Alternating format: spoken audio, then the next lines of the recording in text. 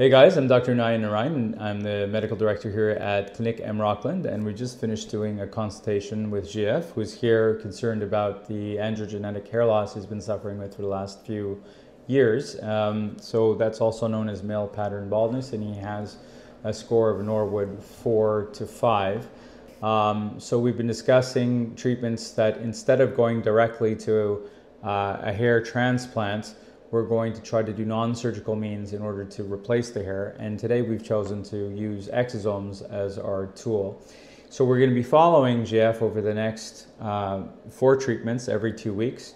Each treatment lasts about 20 30 minutes, Jeff. So uh, we're going to do that, and uh, in about uh, three to four months, we should start seeing that follicle producing new hairs, and the hair that's around um, that is still growing and normal will become even more um, thick and uh, robust, and you'll see the whole quality of the hair change as well.